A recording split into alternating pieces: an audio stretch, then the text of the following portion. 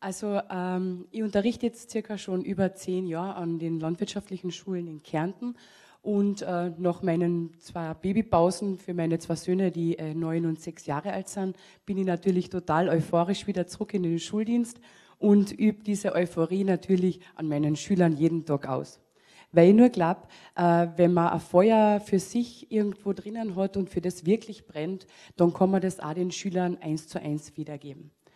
Ähm, ich unterrichte eben an der Landwirtschaftlichen Fachschule Goldbrunhof und wir haben wirklich die Möglichkeit, jedes, äh, jeden Tag zu sehen, wie von der Urproduktion draußen am Feld äh, die Produkte weiter veredelt werden und dann zu einem zauberhaften täglichen Menü äh, weiterverarbeitet wird. Und ich glaube, gerade das ist unser großes, großes Plus in den Landwirtschaftsschulen mit dieser Möglichkeit äh, zu zeigen, wo kommt es her, wo geht es hin. Äh, die Produktpalette von unserer Schule ist wirklich so breit gefächert, da könnt ihr wahrscheinlich jetzt zehn Minuten selber nur über die Produktpalette sprechen. Aber ich glaube, gerade Slow Food macht auch für uns äh, den großen Trend oder es ist für uns ganz, ganz vom Vorteil, unsere landwirtschaftlichen Produkte wirklich komplett in Szene zu setzen, die wirklich einfach wunderbar sind.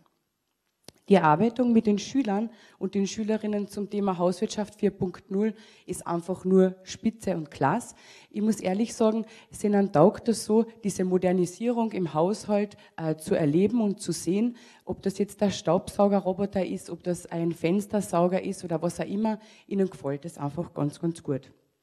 Mir gefällt es auch, weil man einfach eine Bewusstseinsschaffung für sämtliche Technologien hat und äh, dass sie eben sehen, welche Modernisierungen und Arbeitserleichterungen es wirklich im Alltag gibt. Tatsache ist aber dass meine jungen Damen und Herren gleich bald einmal draufgekommen sind, dass diese ganze Technik, so wie gerade früher, arg zwischendurch nicht funktioniert und es auf die guten alten Hände drauf ankommt. Äh, lieb finde ich dann zum Beispiel auch, dass sie sagen, gerade diese liebevollen Details, ja, die nicht maschinell sind und die nicht äh, computergesteuert sind, auf die kommt es drauf an. Und das sind diese Werte, die den Haushalt wirklich so wohn wohnlich machen. Und so wie auch in, in unserem Bild äh, Orange eben die Farbe für die Herzlichkeit im Haushalt ist, weil ich einfach glaube, das ist das A und O, worauf es bei unseren Schülern ankommt. Ich glaube auch wirklich, oder ich bin fest davon überzeugt, und viele von euch sind ja auch im Unterricht, äh, unsere Schüler verfügen wirklich über diese Basics, die sie später mal für den Haushalt brauchen. Und diese Basics machen es nur möglich, dass man Haushalt wirklich im kleinen Finger führt. Und gerade wenn ich das im kleinen Finger führen kann, habe ich dann Zeit für meine berufliche Verwirklichung. So geht es mir persönlich und privat natürlich auch. Nur wenn ich mein Haushalt, meine Kinder, mein Leben im Griff habe, kann ich natürlich volle Energie einstecken und die Frau Landesschulinspektor ist so nett und ruft mich an und sagt, komm, fahr mit nach Wien und ich sage, jawohl, das machen wir. Ähm, also danke, Herr, dafür fürs, Vertrauen. Äh, ja, ich habe dann auch zwei Zitate ausgesucht, weil ich mir einfach denke, äh, das passt ganz, ganz gut. Langweilig zu sein ist die ärgste Sünde des Unterrichts und davon bin ich wirklich vollkommen überzeugt. Ich glaube nicht, dass man die Obermethoden oder was auch immer alles braucht. Man braucht einfach Begeisterung und man muss sie mitziehen. Und schon gar Goethe hat gewusst, und er hat wirklich irgendwann einmal gelebt, ja, würden meine Schüler wieder sagen, die Jugend will lieber angeregt werden und nicht unterrichtet. Also ich drehe wirklich den Spieß um, gerade mit dem Kompetenzorientierten hat man wirklich die Möglichkeit äh, zu sagen, okay, ich kause ihnen nicht alles vor, sondern ich schmeiße ihnen einmal den Brocken hin, äh, wie den Staubsaugerroboter und sage, und jetzt probiert es einfach einmal.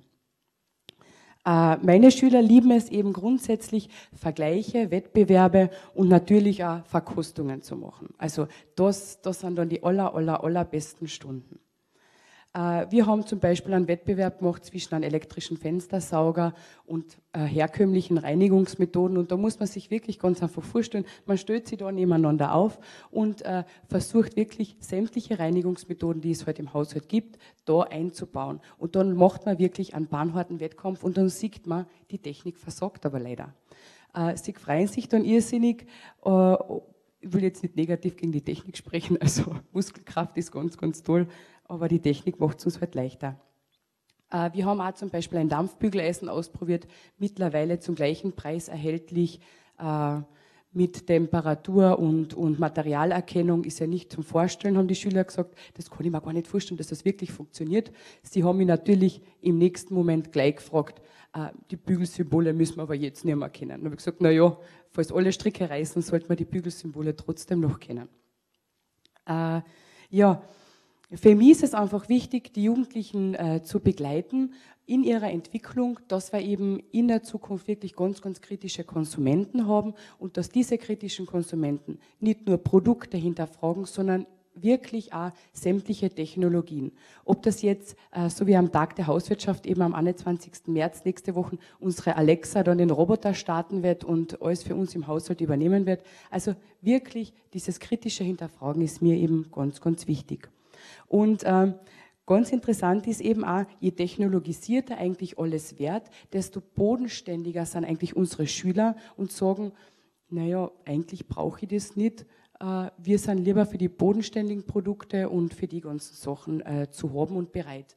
Und ich bin gerade gestern, äh, gestern habe ich gerade Ernährung und Haushaltpraxis gehabt mit 17-jährigen Burschen. Also die kommen in den ersten Jahrgang, sind dann kleiner wie ich und im dritten schaue ich dann eigentlich nur mehr so auf und sie sind eigentlich eine nicht übergewichtig, aber wohl genährt und gute Buben.